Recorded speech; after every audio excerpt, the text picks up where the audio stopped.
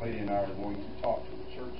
I'm going to ask if you have any questions um, to hold them to after service if you want to ask us any questions. And after after opening the doors of the church, First Lady will spend a few moments. Um, uh, if anyone wants a Bible or T-shirt or uh, want to finalize their payments for the trip, then we'll hand it over to Minister Craft.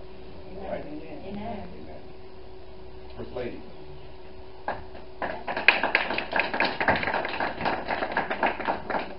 So um, this is going to replace our uh, Sunday ser- ser- sermon, if you will, um, entitled Real Talk. Uh. Um, we just want to talk so you can gain a better understanding of us as a church, what we believe in. Um, as we move forward, I think it's vital for you to know so that you know what you're part of and what we believe in. Um, each ministry is built differently. Some people believe in different things. I think that we shouldn't allow that to come, uh, cause us not to come together as long as we believe in Jesus Christ. But it's, equally Amen. important to know what you're a part of. Right? So this will be entitled Real Talk, and we're just going to talk for a few moments. Uh, we're going to have some scriptures for you all to follow along with, and afterwards, as mentioned, if you have some questions, uh, feel free to come to me so that you can gain better understanding. Let's pray. Father, we thank you. We bless you right now for your congregation. Thank you for your people. We pray, dear Lord, that you'll continue to help us to know what it means to walk with you, to know what it means to walk with each other, to know what it means to build a soul and to build a family under your precious blood. Father, let us focus more in on the freedom that we receive by receiving Jesus as our personal Savior more than religion.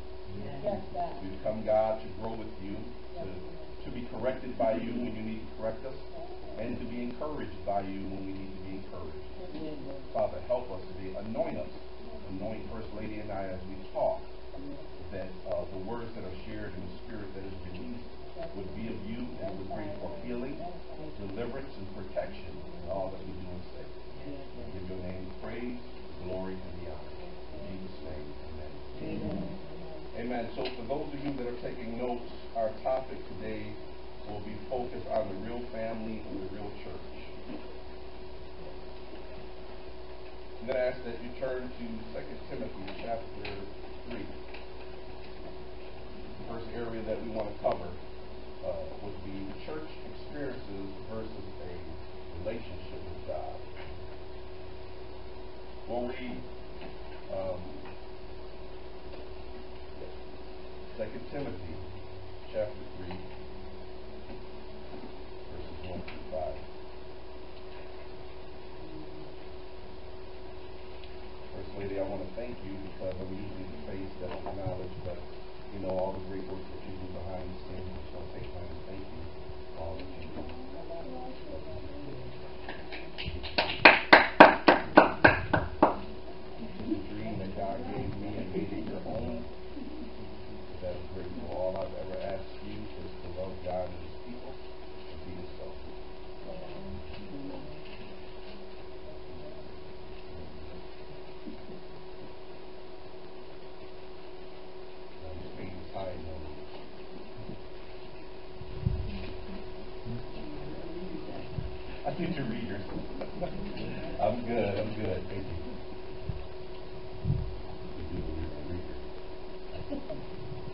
2 Timothy chapter uh, 3, if you could read verse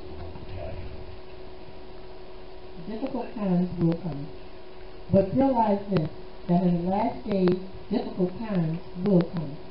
For men will be lovers of self, lovers of money, boastful, arrogant, revilers, disobedient to parents, ungrateful, unholy, unloving, irreconcilable, malicious, gossips, without self-control, brutal, haters of good, treacherous, reckless, conceited, lovers of pleasure rather than lovers of God, holding to a form of godliness, although they have denied its power.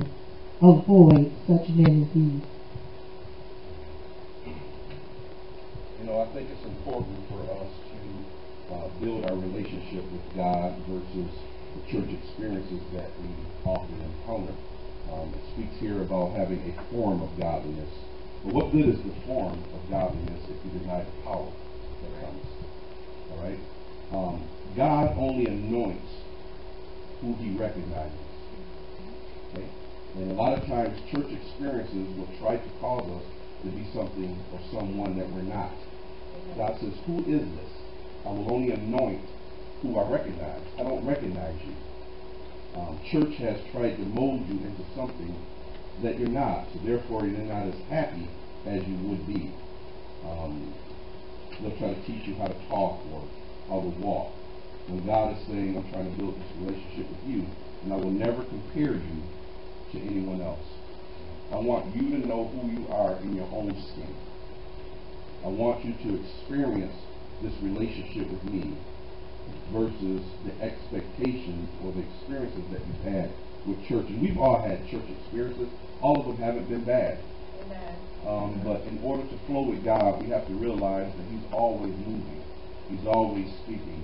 The Bible is very good. It's perfect. It's what we need. But we also need revelation from God to know what He's saying in our lives, not only what He has said. We need the Word of God to be alive in our lives as we build this relationship with God.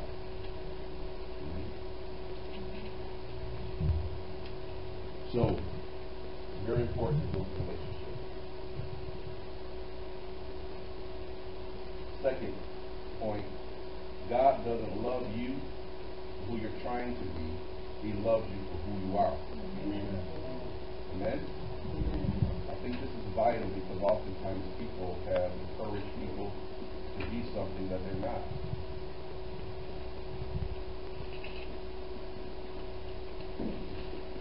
Mark chapter 2, verses 14 to 17.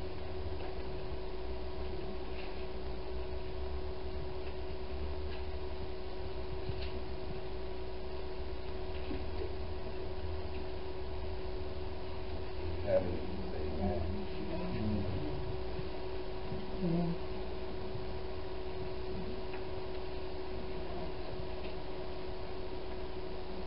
So as it relates to soul redeeming ministries, we want you to um, begin to ask God more and more, what does He want from you as a people?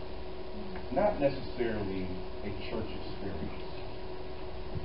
Uh, when you come through the doors, we want to know, God, what are you saying to me? Um, you created me.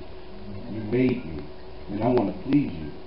But in order for me to please you, I need to know what you want from me. And help me to build this relationship because a relationship with God doesn't stop when we leave out of these doors. You know? Um, the truth of the matter is, we learn in church, but we grow outside of church. Um, when you uh, you need a bill met, and your, your money does not match, that's growth.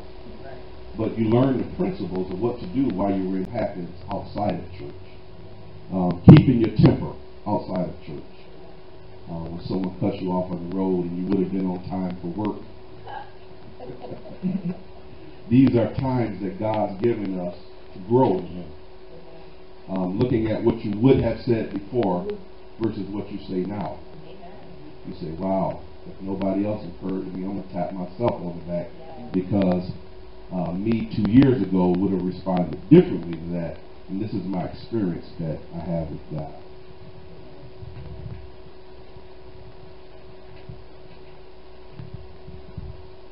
Mark 2, verses 14 through 17. As he passed by, he saw Levi, the son of Alphaeus, sitting in the tax booth, and he said to him, Follow me. And he got up and followed him. And it happened that he was reclining at the table in his house, and many tax collectors and sinners were dining with Jesus and his disciples, for there were many of them, and they were following him. When the scribes of the Pharisees saw that he was eating with the sinners and tax they said to his disciples, Why is he eating and drinking with tax collectors and sinners? And hearing this, Jesus said to them, It is not those who are healthy who need a physician, but those who are sick. I did not come to call the righteous, but sinners.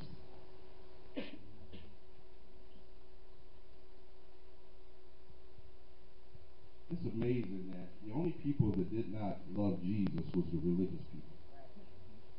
Uh, they, they hated his honesty. They hated his strength and his anointing. They hated his patience with people. Jesus was extremely patient with people. And, and, and it's amazing. I think Minister Craddock and I were talking about this today. It's amazing how we can be raised in Christ and now all of a sudden we're too anointed to be around other people. Just too anointed. Je- Jesus actually hung out with prostitutes, with drunks, you know, with a purpose because he had a goal of bringing them into the kingdom of God. But he didn't tell them to go get straight first before I could come around you. He didn't say you were too smelly. You go fix yourself up and I, I'll come around you. He, he wanted them the way that they were. He weren't trying to make them who they weren't. He was loving them exactly where they were. Okay? Yeah, in their present state, which is our mission. You know, um, we accept people in their present state. We nurture them in their present state. We have a vision, but our mission is to accept people right where they are. You know, and, and it's important. And, our, our, our, mission statement and our vision, or our, rather, our vision is up there, but on your um your bulletins inside, we have our mission statement as well. It's good to know what it is. It's good to know what you're part of. Um, because if we can love people right where they are, with the purpose of taking them into the spirit realm, we try to, how's the saying go? We try to um, eat the fish before we catch it, or how, clean it before you clean it before you catch it. There you go. And, and we need to be patient with, with each other. Let people come to, to church. Leave them alone. Let them worship God in their present state. The Holy Spirit. Oh, Let me let you talk about it. I was basically just saying, let the Holy Spirit do the grooming. Whether it be spiritual, whether it be natural, whether it be financial, whatever status that someone is in, pray for someone else. If you don't have anything good to say, try to hold back and not say anything at all. Be led by the Spirit of God. Don't be led by your feelings. Because what you feel today, you may not feel tomorrow. And what you feel this morning, most of the time we don't feel by the time we go to bed. You wake up in the morning, you're bright and cheery. By the time you lay down, you're exhausted. So we don't have the right to govern someone's soul over how we feel. We need to be led by the Spirit of God. And if we're going to be sisters and brothers in Christ, we need to learn how to cover each other. And if you don't know how, pray. And if you don't know what to pray, say, Lord, help me and teach me how to pray for my sister or brother because you don't always know. Don't judge a book by the cover because you don't know the story. And if you don't get time to take the time to know someone, then you have no right to tell the story because you don't know it. Yes. Amen. it, it's amazing to me before we move on how people want you to live your life based on their way. They'll tell you, you're trying to find out what's best for you and what's best for your family. They'll tell you how you should live your life, but they want you to do it the way they want it to be done. So here it is, you're fighting to be the best that you could be in, in every area of life, but they can't accept that you're trying to find your way. They want you to live your life, but you need to live it my way. And the moment you don't live it my way, I'm no longer your friend. And I would add to that that one of the fruit of the Spirit is self-control. And if you realize that you can only control yourself, you won't spend time trying to control someone else because it's not a fruit of the Spirit. And you want to walk in the fruit of the Spirit.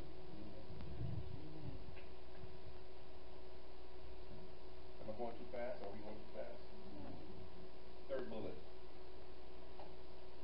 Oh, right there. Never allow church people's expectation for your family to supersede the unconditional love that you have for them, even with their flaws. So we, we recognize all, all, all of our families, we have flaws. There's no family that'll come through this church without flaws. Amen? Amen. Let's free each other up. We, we, uh, I'll, I'll start off first. Uh, First Lady and I and our family, we have flaws. Now, do we have anyone else? This, when, when we get real like this, the power of God comes in because one of the things that I read about the disciples, it said they met daily. They broke bread, they talked. And when you meet daily and you break bread and you talk, you let your guards down. You become more comfortable. when you don't spend time together, you wonder how much I can share. So sometimes we put little tests out there and say, you know, when I was in the third grade, I ate a piece of cake. Let's see if that comes back. If it don't come back from no one, I can trust you a little more. I can tell you a little more. Just throw something out there. You know, we're building relationship with one another. And anyone wondering, I didn't steal the cake. All right, Psalms chapter 127.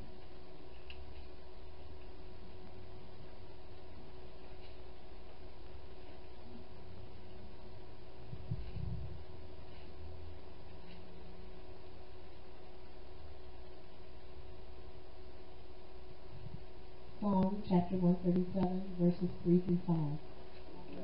I'm sorry, one twenty-seven, correction. Psalm one twenty-seven, verses three to five. Behold, children are a gift of the Lord.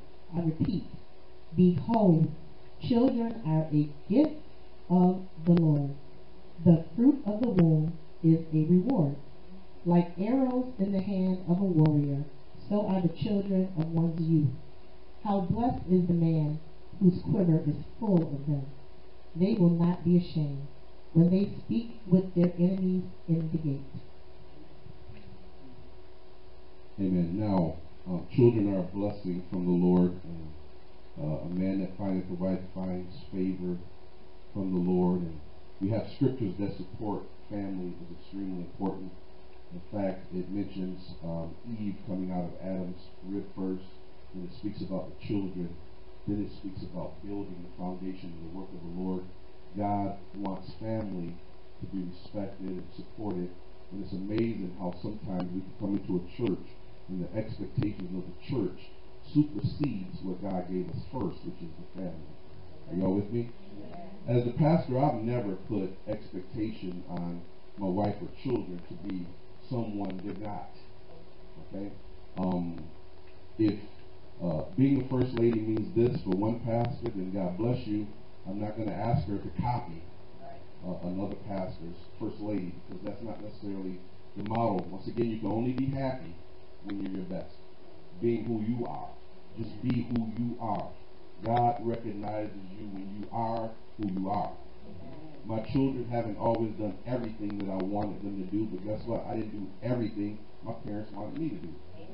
Right?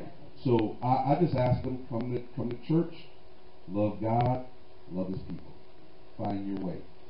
Along the way, you may make some decisions that I'm not necessarily so proud of. But once again, I made some decisions that my parents weren't so proud of. We have to begin to raise that bar off of each other. Come here and be free. Many people have excom- excommunicated their children away from the church because things have been done that didn't fit the criteria of the church. Okay, yeah, you, you should hold them accountable and talk the truth, but I don't have to come before the church and try to embarrass them to please you. Right? You don't have to come before the church and try to say, I really disciplined my child. Look how hurt they are, so I can be accepted by you. No, we do need to have the one-on-one talks. Don't get me wrong. We need to share what the scripture says. But then we also need to grant them grace so they can begin to grow and not forget where we've come from. You know, I, I was hearing a preacher one time. He said something that was pretty powerful to me. He said that he had a um, an evangelist in his church, a woman evangelist. She was 32 years old, and um, she had gotten married, and her husband was a deacon. So you know they're saved, they're walking with the Lord now. Um, the 32 year old, uh, her mo- the mother, 32 years old, um, uh, had a daughter, the daughter got pregnant at 16 years old. The mother, who's now an evangelist, came down hard on the daughter, who now become pregnant. Are you all following? Um, so she basically excommunicated the daughter because now she's an evangelist. And look at the reproach that would come upon me as a preacher. Okay, let's not forget about the family and the importance of family, even when you need to correct. So the pastor asked a question. He says, How old are you? And the evangelist said, 32 years old. He says, Okay, good. Very good. And how old did you say your daughter was? They got pregnant. She said 16. I'm pause for a minute. Y'all excuse me.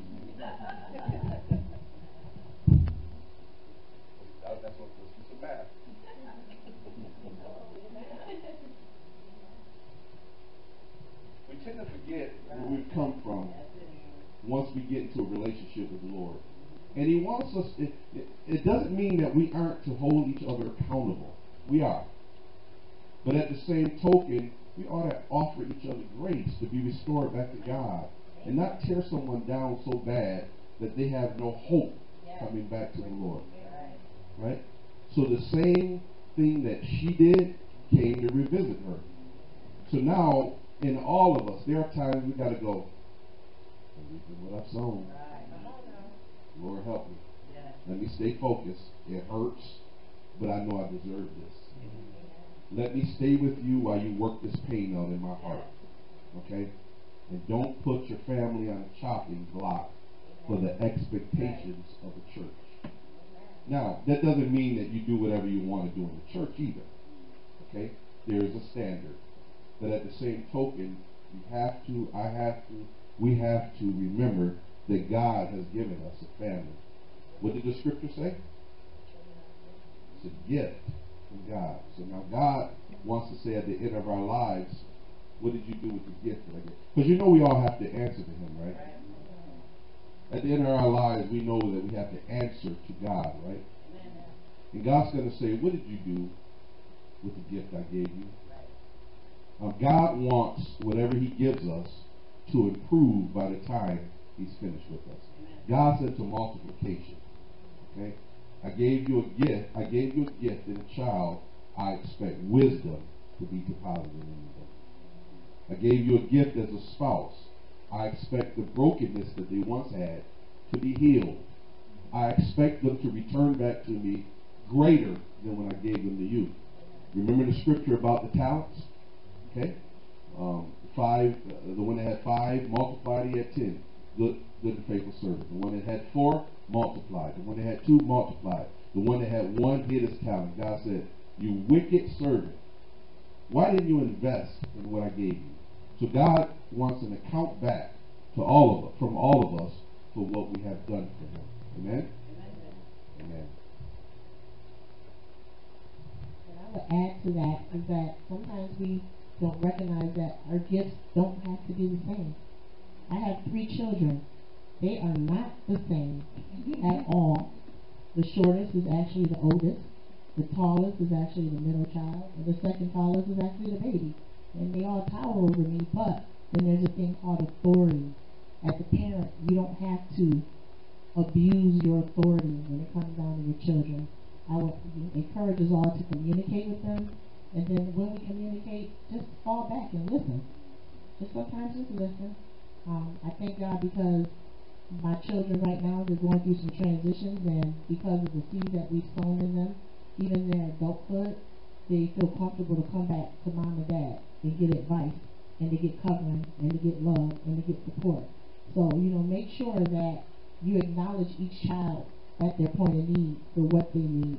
You know, Pastor, um, we only have one daughter, we have two boys, and um, we dated them all. You know, there were times where I took the boys out by myself and went on hot dates with my sons because they need to know how to treat a lady. So if you don't know how to treat your mama right, you don't have no business going to get somebody else's daughter. So I thank God for that opportunity. I also thank God for Pastor taking our daughter out one on one. And she is uh she's not a salad girl. so I thank God that she realized that from her father that when she left the house she didn't have to settle for a happy meal. She could go and she could get some steak and if her brother wanted her he was going to buy some steak. So, you know, I thank God for him covering his daughter and spending time with her one on one. I thank God for their spiritual individuality because they are just like I said, they're very diverse. But I thank God because all their hearts are towards God. And we don't always feel it sometimes because if you be the truth be told, sometimes you don't even know if your kids like you. When they get, you know, they get their attitudes, they don't want to be bothered, they want you to stop talking, they want you to leave them alone, they want you to fall back. But, you know, I say, you know, teach them how to fall in love with God. So sometimes when they fall out of love with you, they'll go back to God, God will convict them, they come back to you, they apologize, and the love is still there.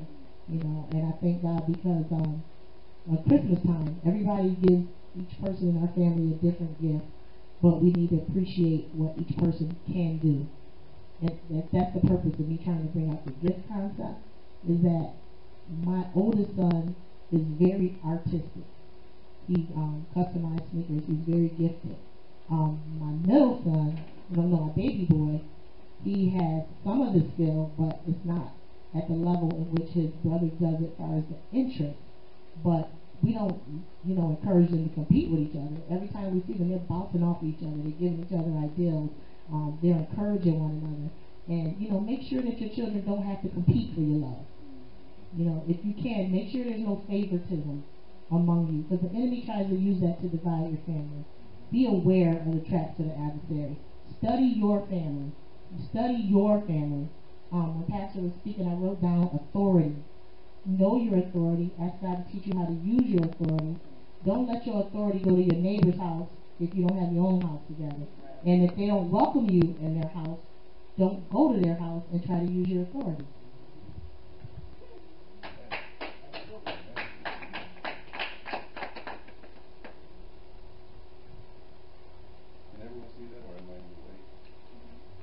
Um, the definition of a hypocrite is not one who struggles, but whether one who raises the bar for you and lowers it for themselves.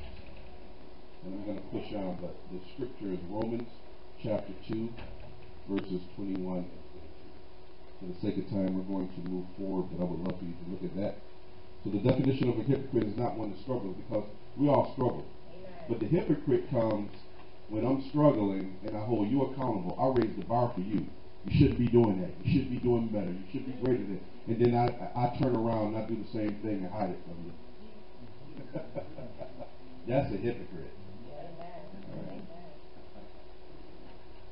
All right. Uh, number five. Build the families, and the families will build the church. Okay. I, I don't wish to build an image of a family. Uh, I want God to strengthen each family member that we have and be patient with one another because growth comes in different stages, as, as First Lady mentioned. And we, we ought to be patient with one another and build each other up, build your family up. Take one-on-one time with them to find out their interests. If it's nothing but a walk, to talk to them, to find out because we don't always know what's in the mind of the children when you separate them, they may share some things that they would not share if you have more than one ch- child as well. Speaking. All right.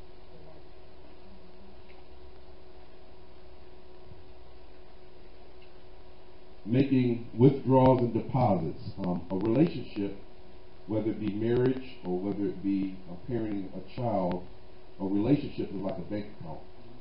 Okay. Um, you have to make some deposits. Okay. Deposits could be kind words. Uh, you know, it could be the way that you uh, spend time, um, things you've said. Those are deposits. Because just as sure as you're making those deposits, you're going to need to make a withdrawal one day. Okay? It, it, it's the same thing in the natural. When you go to the bank, you deposit it, and those bills say, put it back out. so it's, it's the same thing in, in the, the spirit realm uh, when we deal with one another. So if you've been speaking kind words to your spouse or your children, there may come a time that you drop the ball and it may grant you grace. That's a withdrawal. Because they can say, you know what, maybe mommy or dad's having a rough day today. Because I always think about all the things that they do to build me up. All right, so I grant you grace. But if all you're doing is making withdrawals all the time, it's constantly taking, taking, taking, you're going to have a negative balance. Okay? Um, Proverbs 31, please, um, verses 11 through 24. If you could read that, please. Proverbs 31. Now, Proverbs 31 is a, um, it's not a real woman, okay? A lot of, a lot of times, uh, people have raised the bar to believe, man, I just can't do that. It wasn't necessarily meant for you to do. It, it was meant to glean from, as an example. So maybe you cover five of the areas and you're missing four. You may never get those four, but you should strive. We should strive as people to become better. All right. So don't don't walk away depressed and discouraged if you can't find yourself doing all this. It's an example. Okay. Because if you were to go back um, to Proverbs.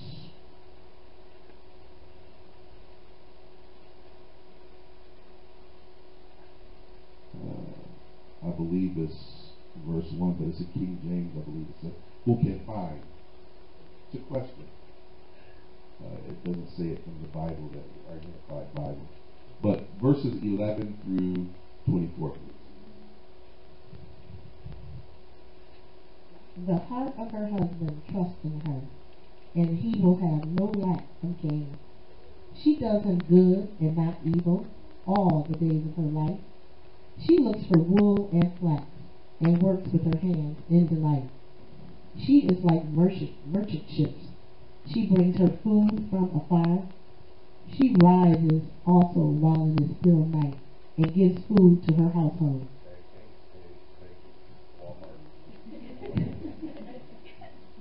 and portions to her maidens. She considers a field and buys it. From her earnings, she plants a vineyard. She girds herself with strength and makes her arms strong. She senses that her gain is good. Her lamp does not go out at night. She stretches out her hands to the distaff, and her hands grasp the spindle. She extends her hand to the poor, and she stretches out her hands to the needy. Open door mission. She is not afraid of the snow for her household, for all her household are clothed with scarlet. She makes coverings for herself. Her clothing is fine linen and purple. Her husband is known in the gates. When he sits among the elders of the land, she makes linen and garments and sells them, and supplies belts to the tradesmen. So when, when you when you give to one another, when you support one another, you remember those times when someone needs to go out and minister to someone else. But if there was a deficit, then I need you to me first. But after you've given out to others, it's okay for you to give out to others. If once you've given home, it's okay for you to give out to others. Right? Because this is the trick of the enemy. We love God and we want to help people, but then you can cause either your spouse or your children or whatever to say, why you always put the church people before me? Why you don't care about me? All your time is spent in church. You don't love me. It, it's things like that. But once you've made those deposits in your own home, okay, when you're called upon to do something for the Lord, there's a healthy balance. Amen. So that's that's the concept of deposits and withdrawals. I love this one. Our youth are the church of today and not tomorrow. Oftentimes we hear people say, uh, our youth are the church of tomorrow. But what if God wants to do something today? Will we get in his way? Uh, King, um, I believe it's in uh, Second Kings chapter 22. There was a king, Josiah, I believe it was, reigned at eight years old. He was the king at eight.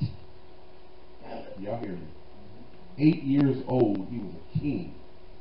And what if he had a religious mindset to say, no, we can't listen to the kids. They don't know what they're talking about.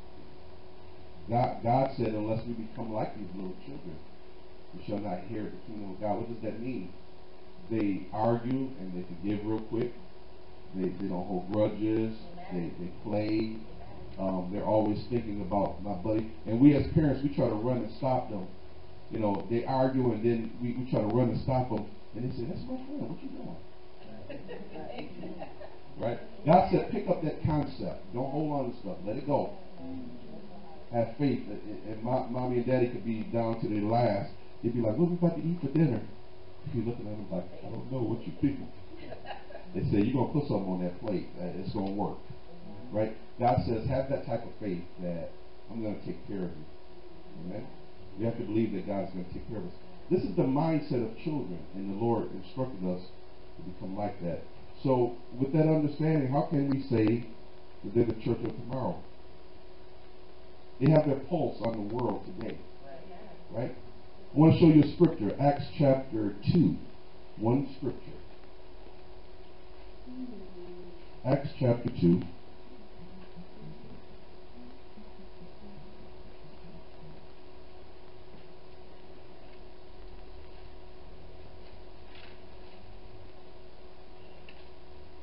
Thank God for this moment. We don't get many opportunities to do this. And also, while you're turning to Acts chapter 2, um, we're going to hold a new members course um, sometime in April, hopefully, to be able to bring everyone on one accord to understand even uh, better what we believe in. You have to take time to do that. Acts chapter 2. Uh, let's look at verse 6. Could you read verse 6?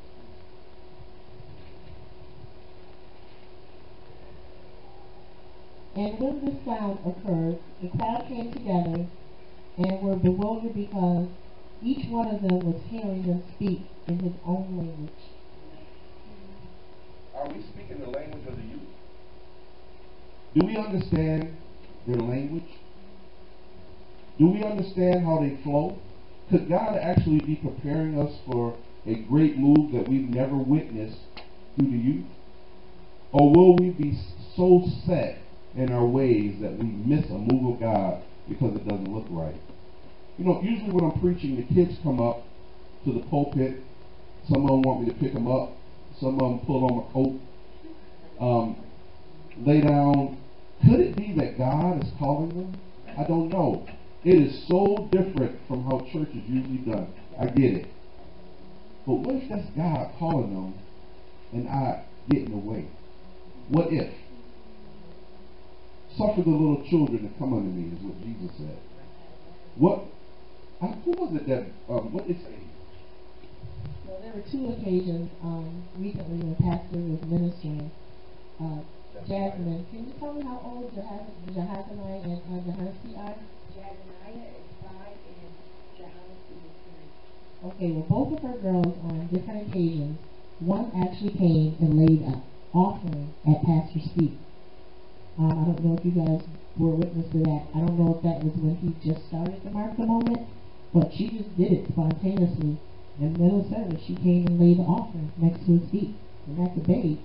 Now, there was another occasion in which Pastor was ministering, and I usually can tell, because we're two shall become one, that when he starts to lose his breath or he starts to get dry, but the baby came to me and told me, Pastor needs a drink.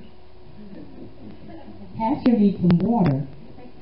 Pastor needs it right now. So I asked her to give me like two seconds so I could open the bottle and pour it in a cup. And she needed to bring a glass of water to the prophet. And I thank God because she heard from the Lord. And when that time of refreshing came, he was able to finish that sermon with power and anointing. So that's actually confirmation of what Pastor just said.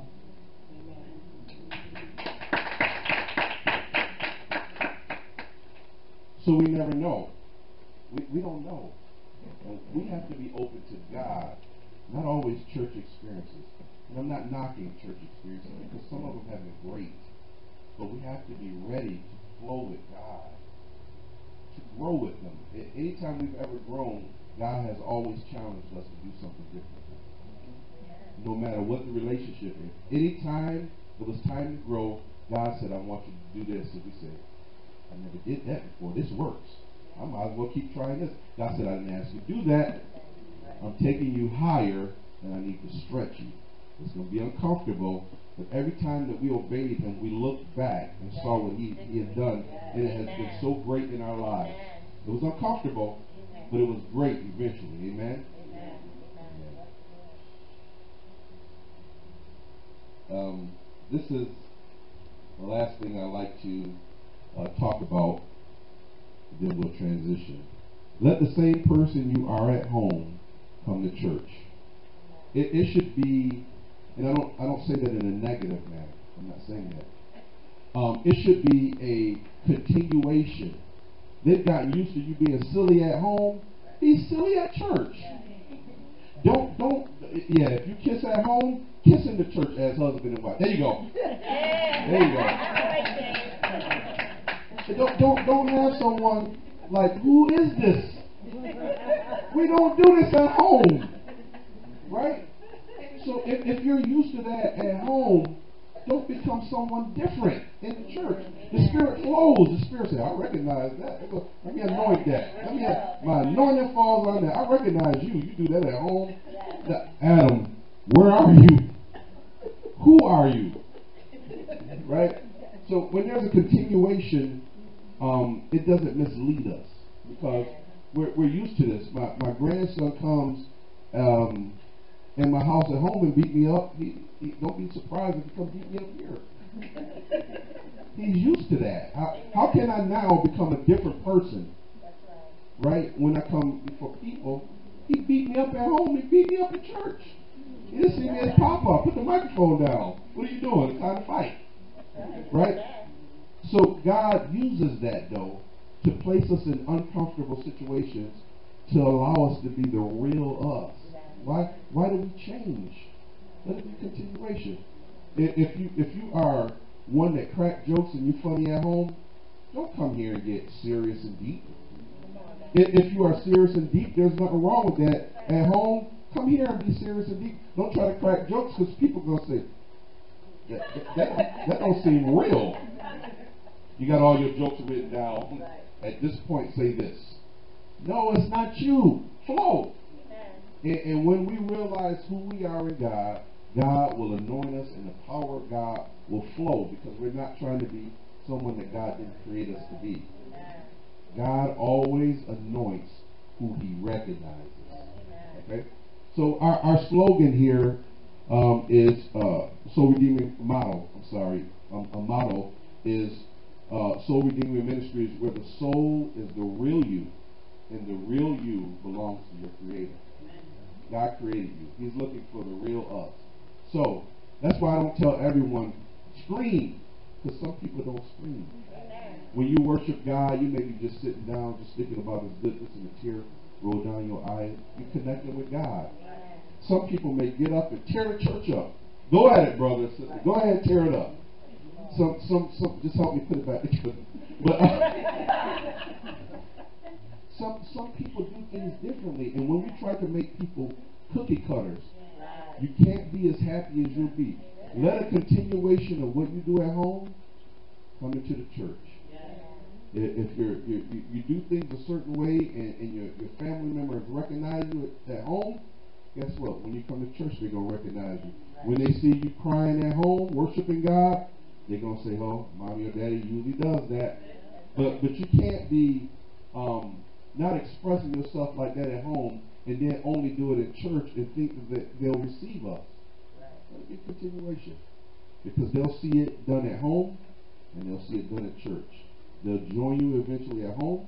They'll join you at church because God's looking for the real us. Amen. Let's give the Lord a hand praise. Hallelujah.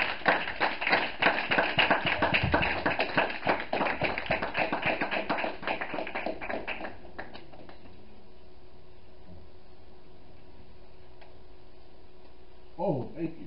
Yes. Um, to married couples, we have a survey that you would like uh, a, a, a premarital